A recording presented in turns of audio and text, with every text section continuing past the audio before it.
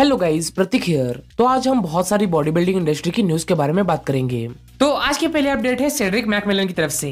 Lesion sports fest उन्होंने confirm किया है कि सेड्रिक इस शो में खेल रहे हैं। ये शो होने वाला है 24 अक्टूबर को, यानी लगभग एक महीना बचा है। हमें पता है सेड्रिक ने इंजुरी की वजह से आर्नोल्ड और ओलंपिया से बैक ऑफ़ कर लिया था। बट सेड्रिक का कहना है कि वो अभी हेल्दी फील कर रहे हैं और शो जीतने के लिए रेडी है। इस आर्नोल्ड क्लासिक को देखकर उन्हें कम्पीट करने के लिए और ज़्यादा मोटिवेशन मिल गई। सेड्रिक पिछले कुछ सालों से उतने डेडिकेटेड नहीं लगे। ऑफकोर्स वो इंजरी फेस कर रहे थे बट हम ये फील कर सकते हैं। वो रेगुलरली शो नहीं खेल रहे थे। अगर खेल रहे थे तो उतनी अच्छी कंडीशनिंग नहीं ला पा रहे थे। सिडरिक एक बहुत बढ़िया जेनेटिक्स वाले क्लासिक लुक वाले एथलीट है। अगर वो पिक करते हैं तो डेफिनेटली टॉप फाइव तक पहुँच सकते हैं। बट अभी तक ऐसा नहीं हुआ है। तो देखते हैं इस शो में कितनी अच्छी प्लेसिंग ला पाते हैं। सेकंड अपडेट है सर्जियो ओलिवा जूनियर की तरफ़ से। सर्जियो भी शायद उसी शो में खेल रहे हैं। यानी लाइनअप काफ़ी तगड़ी हो गई है। जितना अब तक पता चला है, उसके according Cedric Sergio Max Charles और स्टैनिमल ये एथलीट आने वाले हैं। सर्जियो ने तीन चार दिनों पहले अर्नोल क्लासिक में कम्पीट किया था बट वो टॉप थ्री में आने में फेल रहे। इसीलिए किसी ने भी उनकी फिजिक की बात नहीं करी। बट अगर आप उनके अपडेट्स को ध्यान से देखोगे तो अपने ऑल टाइम बेस्ट पर थे। लास्ट ईयर उन्होंने लाइनअप में रैमी डेक्स्टर विलियम होने के बावजूद भी टॉप फाइव में जगह बना ली थी। पिछले साल ही उन्होंने अपने पोटेंशियल को शो किया था। बट इस बार पूरी तरह से ओवरलुक हो गए। उनकी फिजिक की बात करें तो कंडीशनिंग अच्छी थी। पिछले साल के मुकाबले साइज़ एड किया था। बैक में इंप्रूवमेंट्स थे।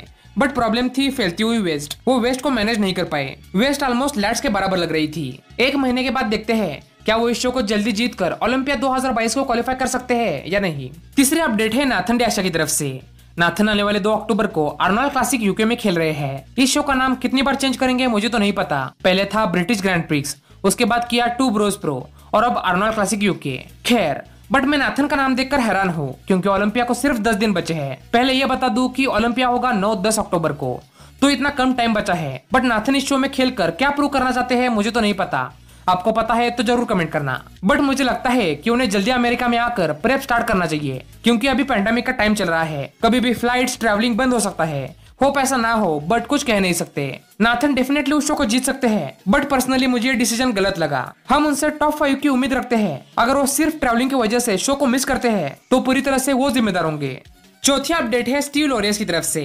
स्टीव ने ऑफ़ सीज़न की फिजिक अपडेट शेयर करी है। स्टीव के पास पोटेंशियल बहुत ज़्यादा है। हाइट अच्छी है। ठीक ठाक क्लासिक लुक है। बट वो उतनी अच्छी फिजिक्स शो नहीं कर पाते। स्टीव की कंडीशनिंग हमेशा उनकी फिजिक को स्पॉइल करती है। इस अपडेट की बात करें तो लेट्स अच्छे लग रहे हैं। स्मॉल वेस्ट मेंटेन करी है। वैक्यूम अच्छा हिट कर लेते हैं। लेग्स का साइज़ बढ़िया है। उन्हें बस फ़ील्ड आने की ज़रूरत है। वो डेफिनेटली टॉप एथलीट बन सकते हैं। लेट्स सी अब इस साल कम्पीट करेंगे या फिर डायरेक्टली अगले साल? ओपन और मेंस फिजिक की तो हो गई। अब करते हैं मेरी फेवरेट क्लासिक फिजिक डिवीज़न की प्रेडिक्शन इसमें भी टॉप फाइव प्रेडिक्ट करेंगे। डिस्क्लेमर ये प्रेडिक्शन मेरी है सो आप ज़रूर डिसएग्री कर सकते हैं। तो इस डिवीज़न की फ़र्स्ट प्लेस जा सकती है ऑफकोर्स क्रिस बमस्टेड इसमें कोई बताने की ज़रूरत है? क्रिस इस साल ट्रॉफीज की हैट्रिक लगा सकते हैं। अब आपको क्रिस के बारे में ज़्यादा बताने की ज़रूरत नहीं है बट क्रिस को विनिंग फॉर्मूला पता है, उन्हें बस उसी को दोहराना है। वो पिछले दो सालों से अच्छी कंडीशनिंग ला रहे हैं शेप तो बढ़िया रहता ही है। क्लासिक लुक उनका प्लस पॉइंट है तो देखना पड़ेगा क्रिस हैट्रिक लगा सकते हैं, या फिर कोई और सरप्राइज़ दे जाएगा। सेकंड प्लेस में दूँगा ब्रियोन एसले को। हाँ डेफिनेटली पिछले साल रफ डीजल से हार गए थे और थर्ड प्लेस हुए थे। बट इस साल मुझे ऐसा लगता है कि सेकंड प्लेस उनको जा सकती है, क्योंकि Breon already two time champ है। उन्हें पता है शो कैसे जीतना है। अगर वो अपने ट्रेडमार्क ड्राई हार्ड फिजिक लाते हैं तो सेकंड प्लेस उनको जाने वाली है। तीसरी प्लेस में देना चाहूँगा टेरेंस रफीन यानी रफ डीजल को। वो पिछले साल के रनर अप और अर्नोल्ड क्लासिक के विनर है। यानी मोमेंटम उनके साथ है। उन्हें बस अपना बेस्ट देना होगा। इस बार बहुत सारे नए नए एथलीट निकल कर आए हैं, जिनके पास बहुत बढ़िया क्लासिक लुक है। उनसे टेरेंस को बच के रहना पड़ेगा। But still I think Ruff Diesel third place deserve करते हैं। फोर्थ प्लेस जा सकती है एलेक्स कैम्बरनेरो को। रफ डीजल और एलेक्स कैम्बरनेरो इनकी पोजीशन को लेकर मैं थोड़ा हैप्पी नहीं था। एलेक्स साइज़ में कम थे बट वो मुझे रफ से अच्छे और कंडीशन लगे। उनके लेग्स में डिटेलिंग अच्छी थी। यानी एलेक्स में टॉप थ्री में जाने का पोटेंशियल है।